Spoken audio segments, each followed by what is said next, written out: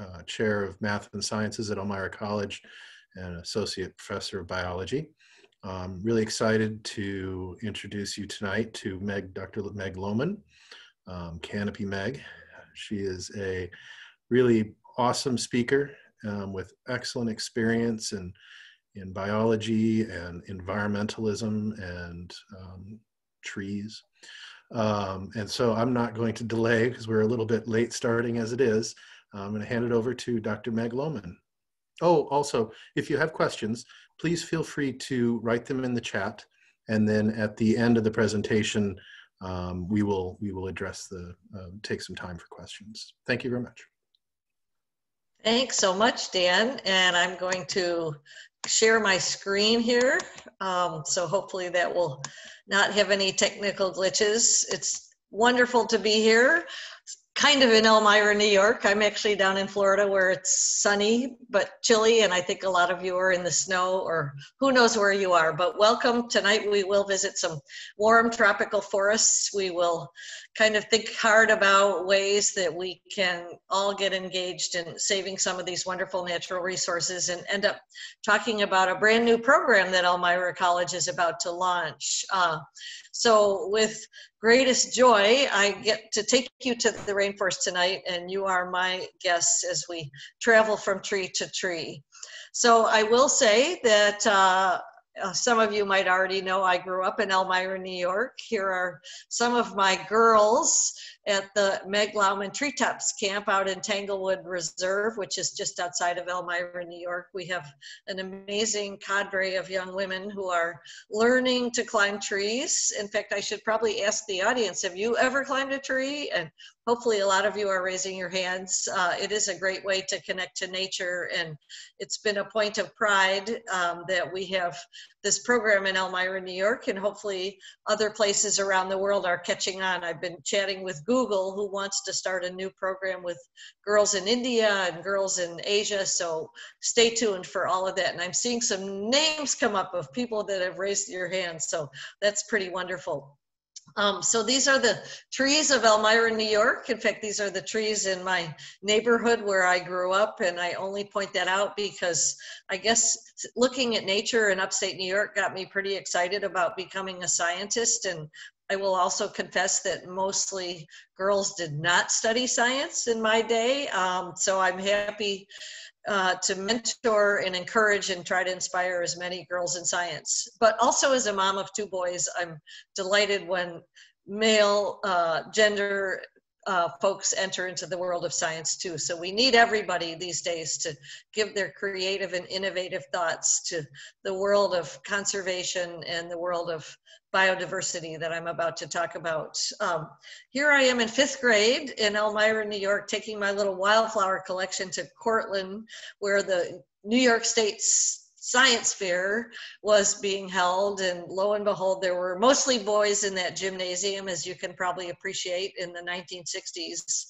uh, i did get a second prize a little plastic trophy that made me feel like i was probably the most important scientist that I ever dreamed of knowing, but I didn't even know any scientists, true confession. So that was a great experience. And uh, ever since that little wildflower collection that uh, came from all the roadsides around Elmira, New York. I studied botany and became pretty passionate about plants. Um, my neighbor in Elmira was a crazy guy on the left named Tommy Hilfiger, and his sister Betsy in the middle was one of my best friends. So lo and behold, we all marvel at what was going on in Elmira, New York, that some of us lashed out and did all these wild and crazy things. So it's been a fun journey to track what happens when you grow up in a small town. And I still think Elmira is a great place to study the environment because obviously it was really special for me.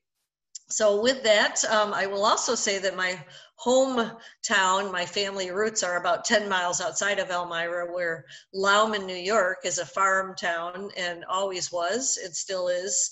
I looked at my family lineage and couldn't find any scientists, but I can only say that my great great grandparents made a pretty good use out of plants during the Prohibition, I've been told, because they produced some whiskey out of some of the botanicals that they grew on the farm. So that's about as close as it came in the Lowman family to creating any botanists, I guess, until I came along.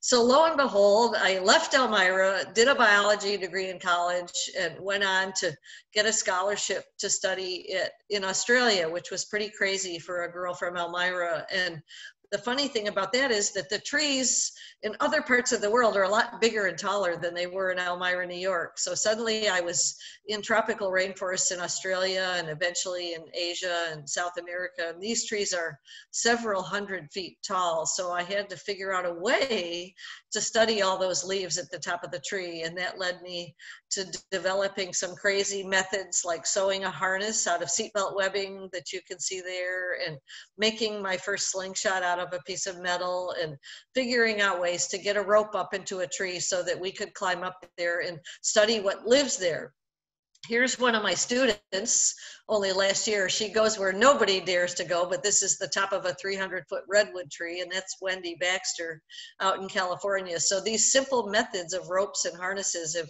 really catapulted no pun intended the world's knowledge of the treetops which has been fabulous.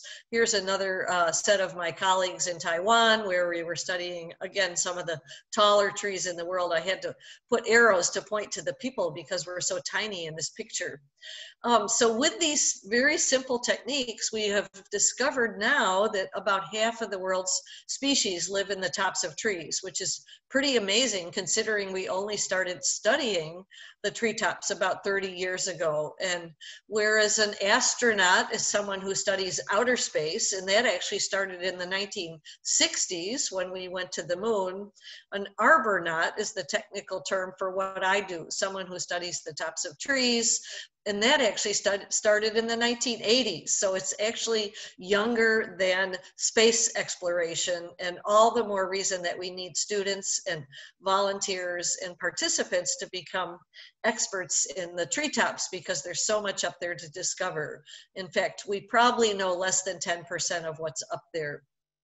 So this led me to do a few other things. When you have a rope up a tree, you can only put one person up there at a time or it becomes pretty dangerous and the rope might break. So we developed these very cool canopy walkways or treetop skywalks in Australia in 1985. We're hoping one will come to Elmira in the next few years. There's been some talk and hopeful funding and planning, but right now about 70 of these walkways exist around the world.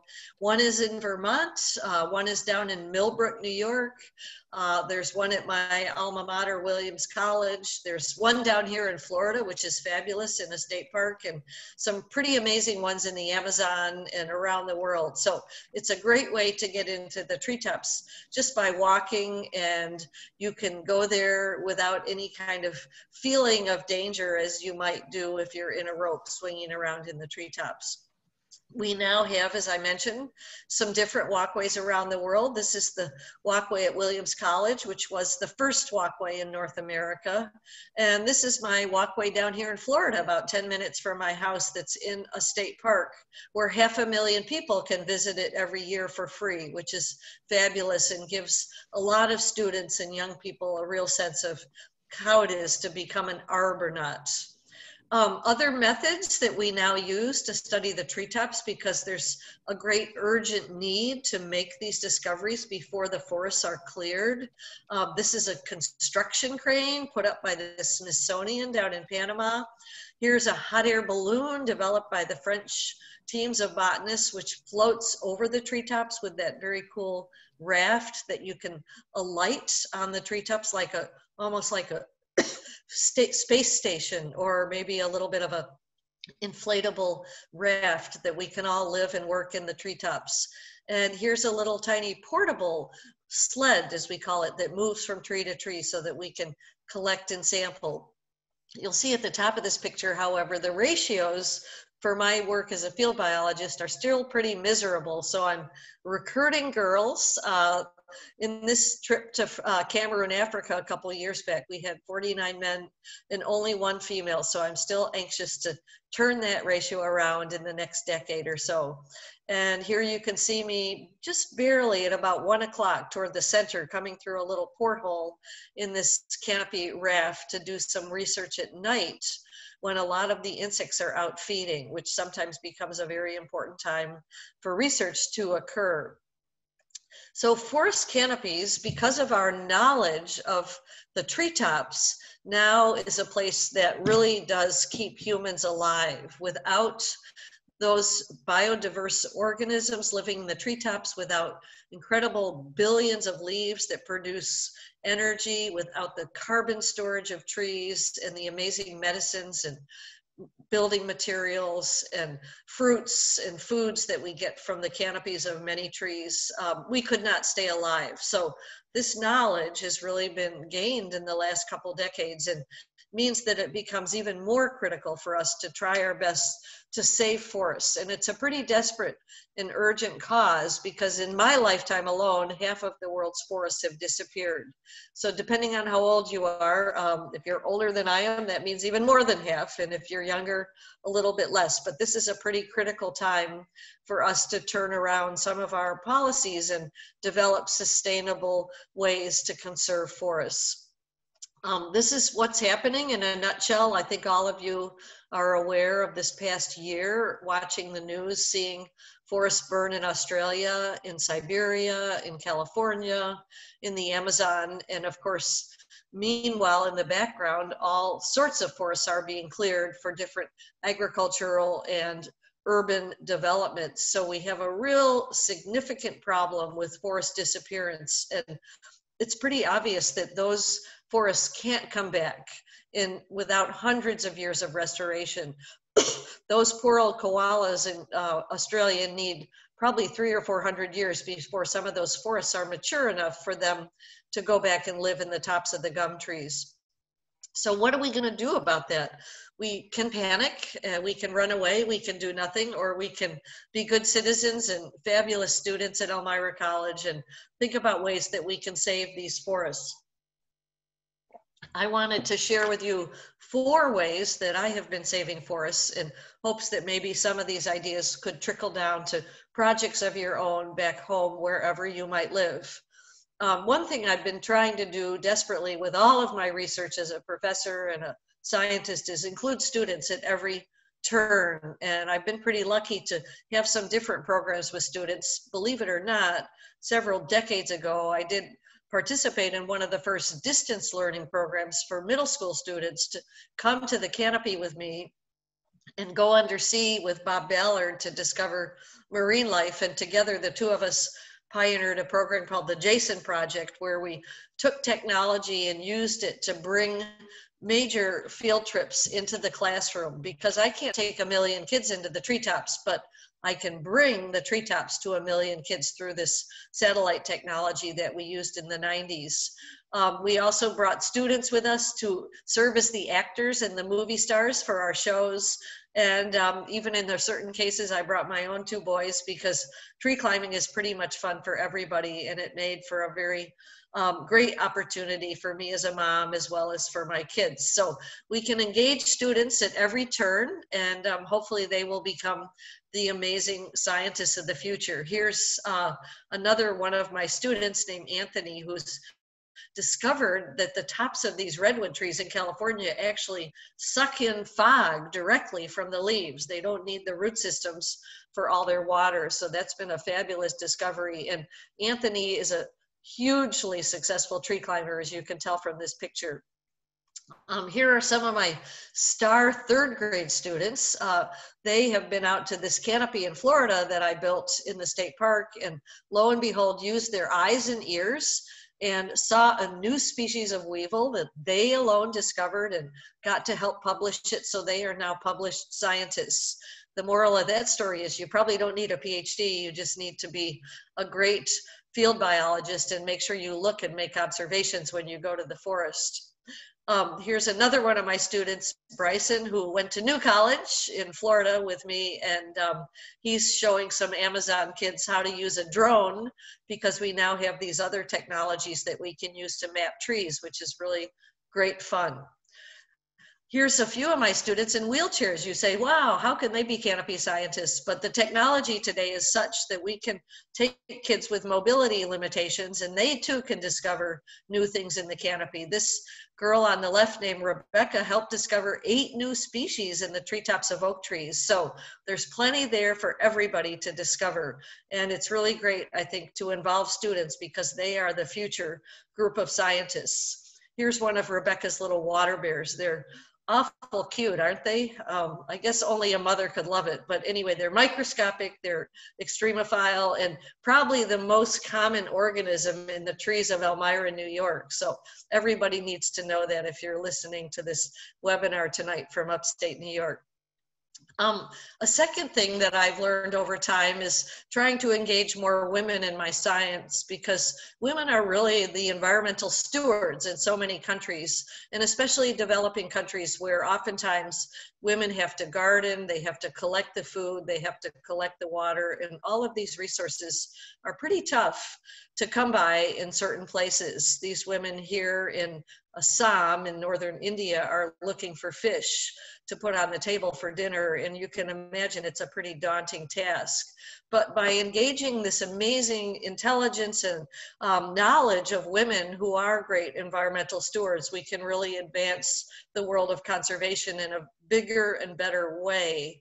Um, so whenever I try to travel into countries where perhaps girls don't have as much opportunity, I've been able to lead classes for women cl- schools. I've been able to take girls up into the treetops and teach them to climb and do my best to try to think of units of activity that girls can participate in that might inspire them to become stewards of the forest. And who knows, maybe someday one of them will become the head of the forestry department in India or somewhere else.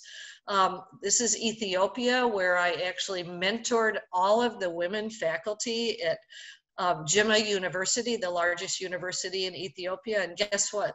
That's the extent of the women faculty of the largest university in that whole country. So you can certainly uh, understand that they need a lot of assistance and role models and resources. And the more that we can do to help women in some of these countries, I think the better off science will be. Um, back at home, as you all know, we have our girls camp in Elmira, New York. We have a lot of programs now for women and girls in STEM, which I think is a really fabulous thing. Um, here are some of my girls in North Carolina, where I used to work, uh, all climbing together, having a good old time in the canopy. Um, so in a sense, getting women involved in treetop research or getting women involved in environmental work and sustainability is really just another facet of social justice. And global environmental justice right now is pretty skewed um, for people in many countries. And by engaging women, hopefully we can increase the chances of the next generation getting access to good resources like fresh water and pollinators of their crops. And at the same time, we can cultivate those sustainable scientists of the future.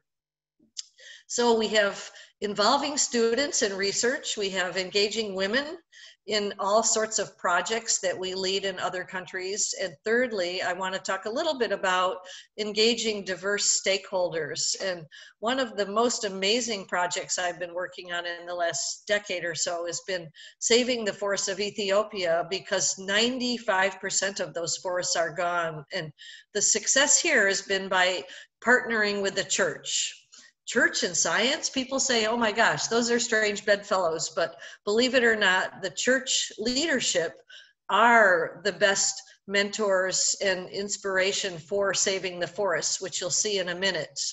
Um, here's an aerial view of Ethiopia. You can only just barely see those little tiny green dots, which are the remaining forest in this world of subsistence agriculture uh, throughout the rest of the landscape. And up close, those little green dots are the churchyards of those round Coptic or Ethiopian Orthodox churches in the center. And the neat thing about that religion is that they do believe that they are the stewards of all of God's creatures. So a successful church has a forest around it. But unfortunately, as you can also see, the church um, is losing those forests. Cattle come in and eat the seedlings and the saplings. The boundaries are shrinking by farmers doggedly clearing a little bit more to get a better harvest. And a lot of the wildlife is being lost to hunting and also to the shrinkage of the environment itself. So there's a desperate need in Ethiopia to save this last 5% of forests. It's the only genetic library for the whole country. It's where all the native species live.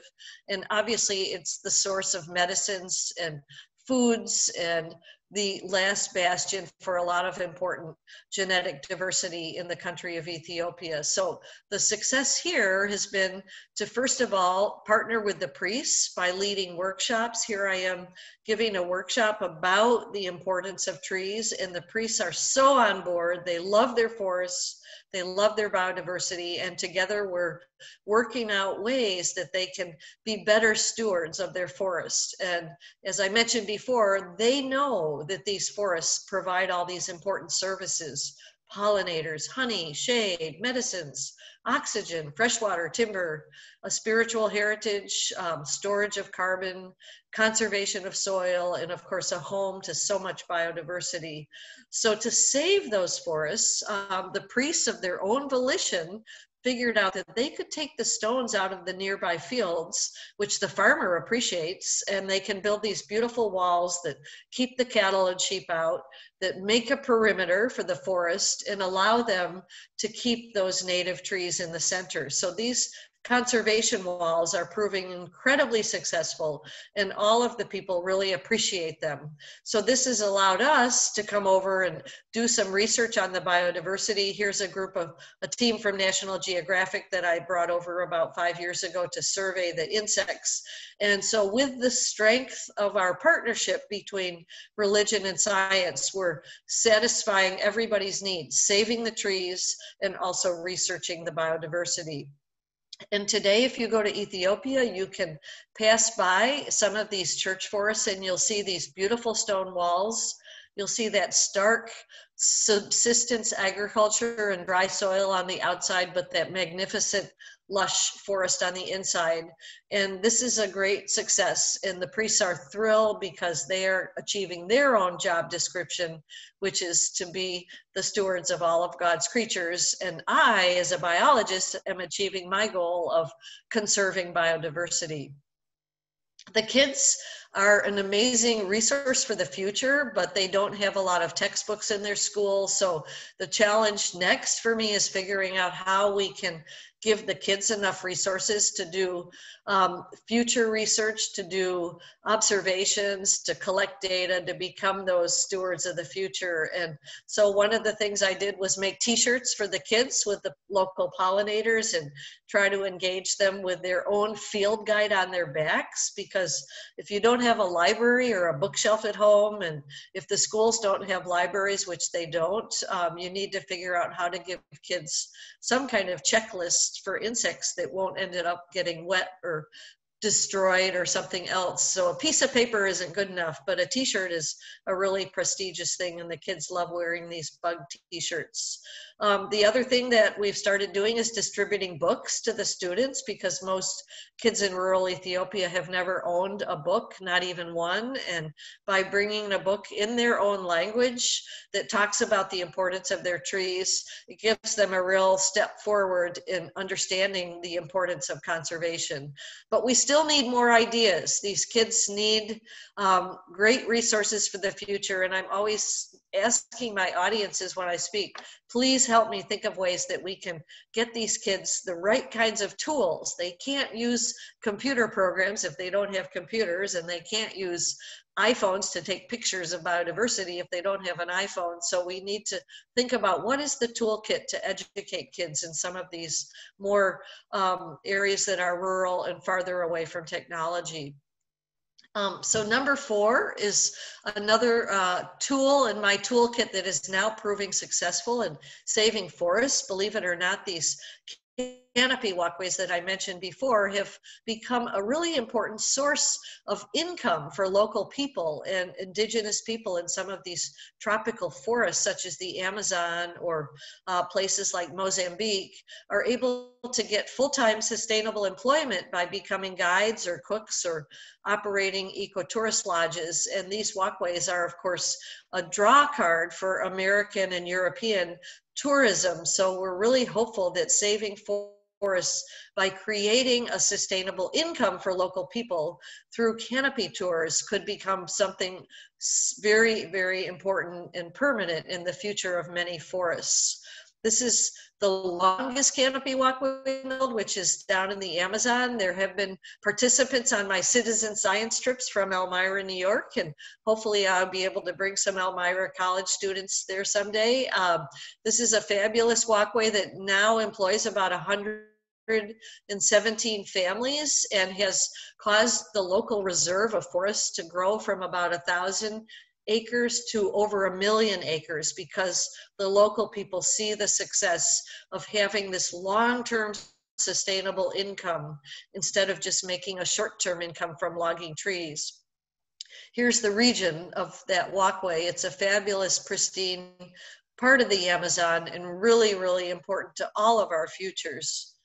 Um, another walkway example is here in uh, Western Samoa. We went across, a team of us, and built a canopy walkway that allowed an entire island to keep from logging its forests because they had to build a school, which cost $50,000. And by building this ecotourism business, they paid the debt off in two years. Whereas if they'd logged the trees, they probably would no longer even be able to live on their island. Um, here's one of the newest walkways over in Malaysia, and this walkway now attracts 2 million visitors a year.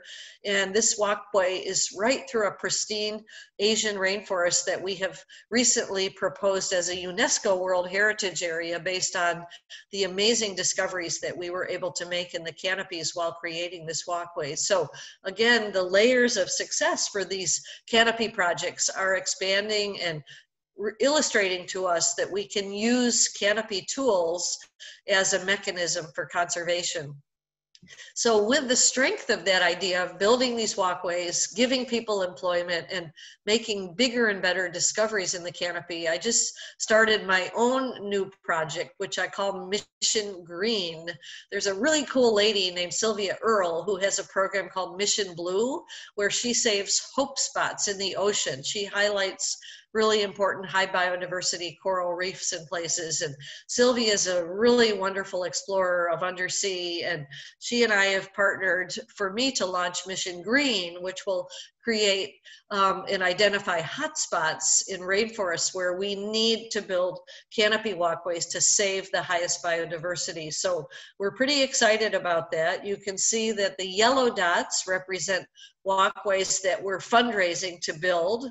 Um, the red dots represent walkways we already have, and all of those red dots are walkways where local people have gainful employment and the ability to make discoveries by students is extraordinary because they have this fabulous skywalk to work from.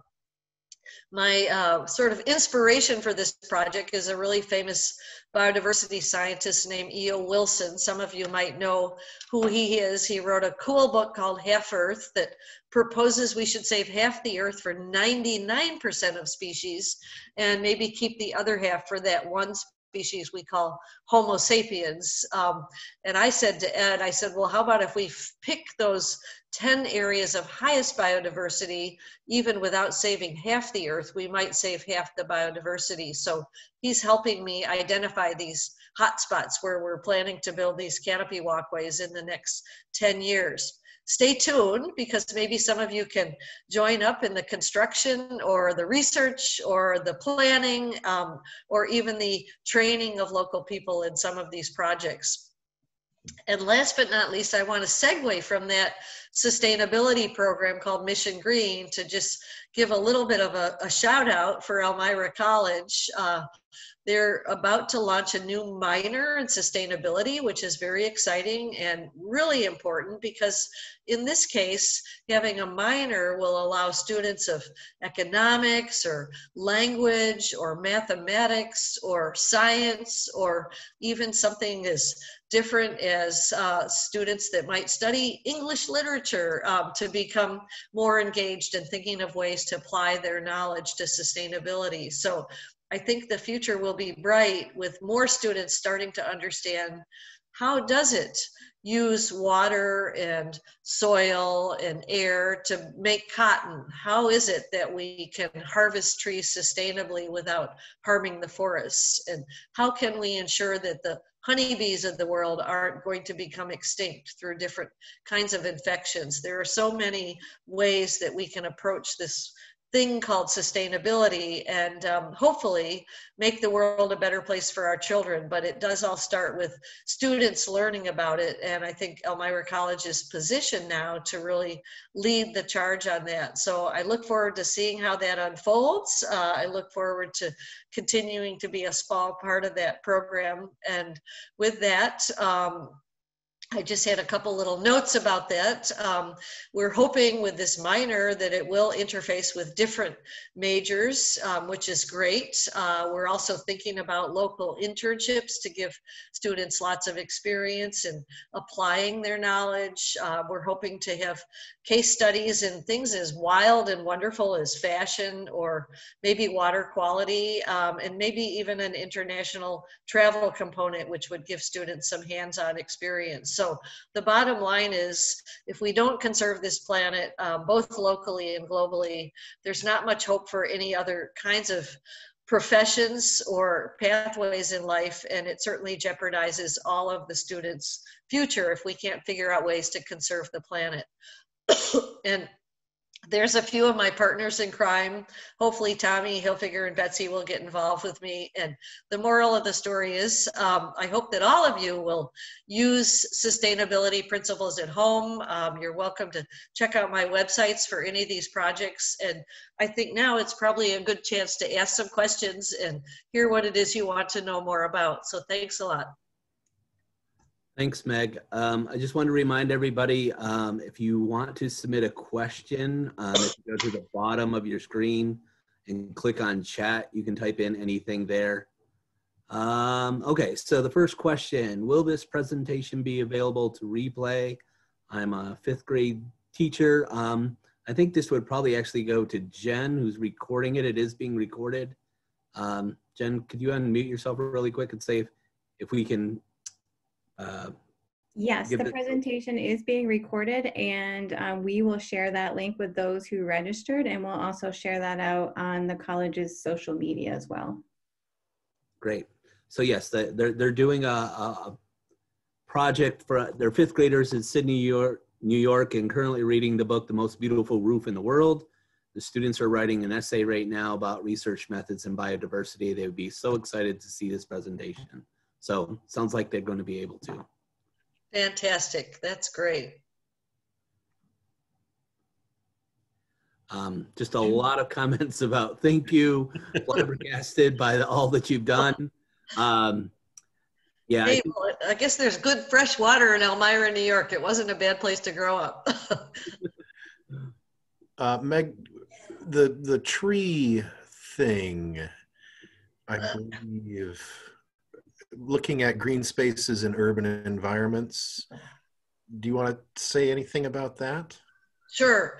Um, so, you know, I talked mostly about trying to save big trees in pristine forests because those are sort of the machinery of the planet. They're like the air conditioning and the heaters and the producers. But in every city, of course, we have urban trees that are equally important for people who live in cities. Sometimes they're your first um, experience to see a leaf up close or maybe watch a butterfly or see a bird nest. So they're truly important. And urban canopy cover is becoming increasingly important to provide ecosystem services. I think in Elmira, New York, uh, one of my colleagues named Alan Winston is part of a program where the environmental team and the government is going to get together and really start surveying your trees and your canopies. My biggest concern about urban trees is they're oftentimes small. And we have in America, I think an average age of an urban tree is something like nine years old because every time a road gets widened, people cut the tree down. Or every time somebody develops a new strip mall or a new roadside something, they tend to cut the trees down and not value them. So I think one of the really important things to be thinking about is how can we increase the voice of a big tree and make sure that it's a really important resource that lasts, that is part of the landscape and is part of the future. Because a big tree, as you can tell, stores a hundred times more carbon than a small tree and produces a thousand times more oxygen than a small tree. So we really need to prioritize those big trees. And the best and biggest trees are still in the Amazon and Southeast Asia and places like that. But we need to do our roles back at home and preserve trees and teach kids about trees. And I hope that Elmira and other cities can maybe become exemplary in terms of their green conservation. It's really, really important. Okay, I have an, uh, another question. Actually, I have quite a few coming in, so I'll try to get to all of them. Uh, where did you get your funding for your work in Ethiopia?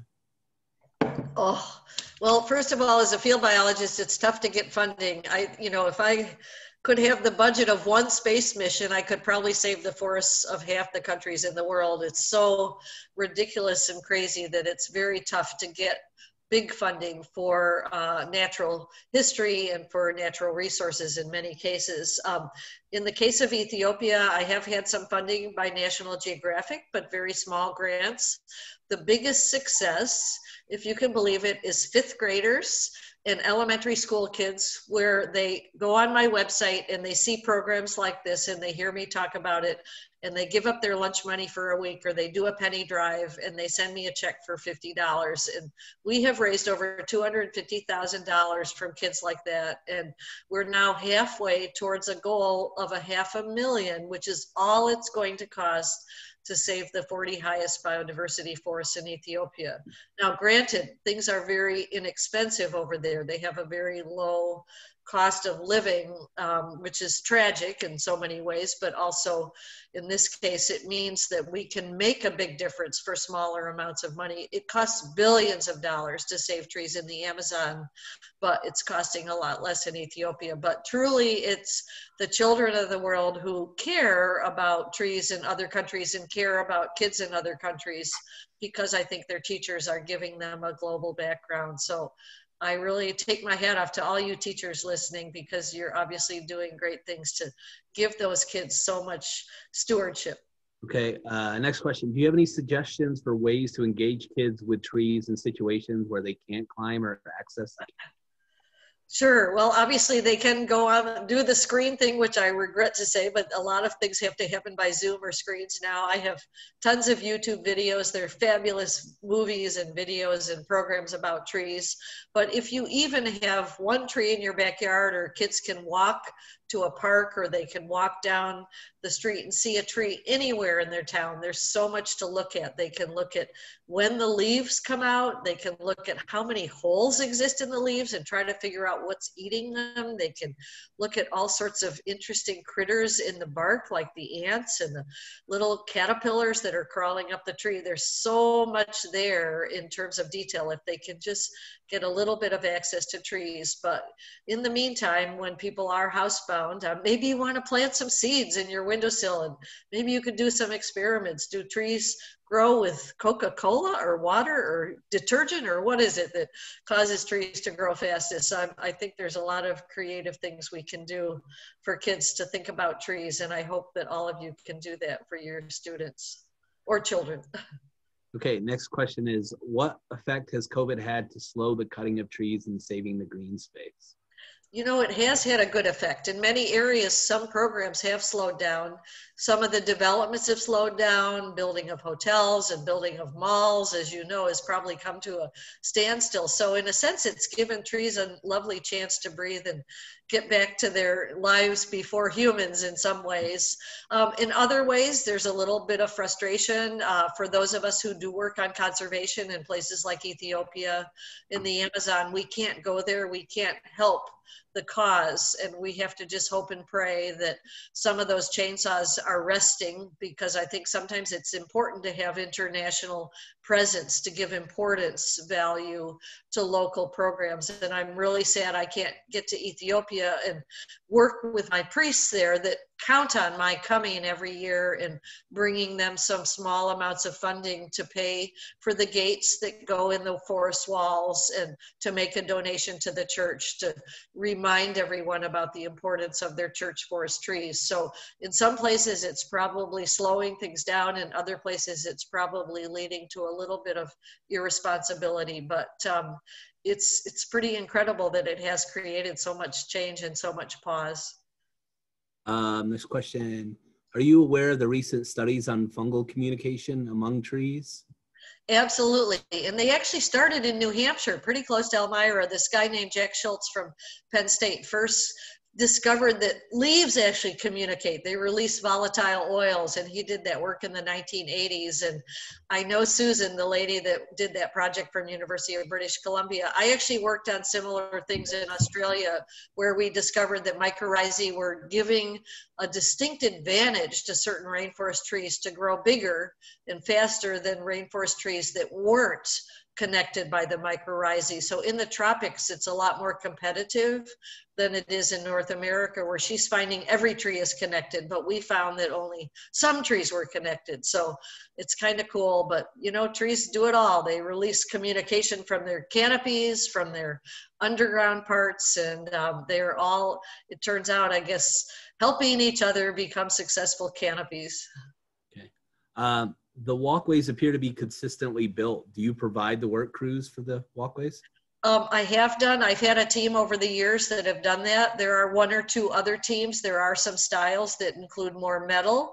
Some include aluminum, which is very lightweight and can be shipped um, around the world more easily than timber. Uh, so yes, in certain cases, there's a certain style that my teams have adopted, which is timber and using local resources as much as possible. But we do find in certain cases that we need to um, use other builders, and we always try to do local uh, construction when we can. Uh, next one I might actually be even to help, able to help you with. When will EC students be able to take classes and work with you? Um, well, you must answer that. You have to. I, I, think as soon as next year, we are going to try to get to get um, you a part of the curriculum um, when we start our sustainability minor. So I, I, think the answer to that is stay tuned, but um, sooner than later. All right. Um, another one's just that I totally agree about space funding. Let's focus on saving our planet. Um, last Sunday, New York Times article on communication between trees. Uh-huh. All right. Have you ever worked with the Girl Scouts? There are so many badges and programs related to sustainability that your expertise and enthusiasm can inspire hundreds or thousands of girls to be more involved. You know, such a great idea. And I actually co wrote the Boy Scout Exploration Badge and that was pretty cool. That came out a couple years ago, and for reasons I don't understand, I never quite worked with the Girl Scouts, and I should. And I don't know who heads up the Girl Scouts or where their headquarters is. I know they exist locally, um, but if anybody has that connectivity up the food chain, it would be great to think harder about that. And I must confess that I'd love to know more about that because I know at one point we had Scouts and then we had Boy Scouts and Girl Scouts, and I'm not sure if we have integrated scouts or whatever, but it would be. I see a note here, headquarters in New York City, and someone works at a council, so maybe you can email me and tell me more about it. Thank you. Um, what do you think about the efforts to incentivize forest protection and good management practices through carbon credit sales? Is it really a sustainable climate solution? Um, I think it's fantastic if we could implement it. Obviously, carbon is a really important storage uh, and trees are one a great mechanism for storing carbon. The problem has been implementing it.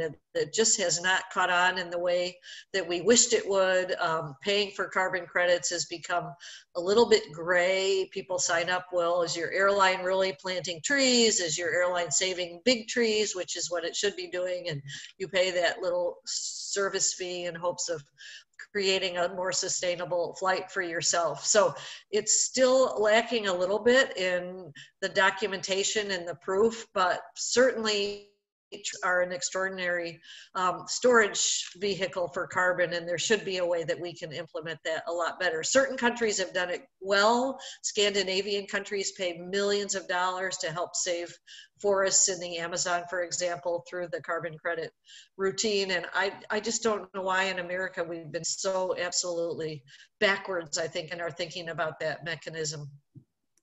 We hmm. need to combine economists and sustainability scientists and foresters. We need to all work together and get that to happen a little more seamlessly.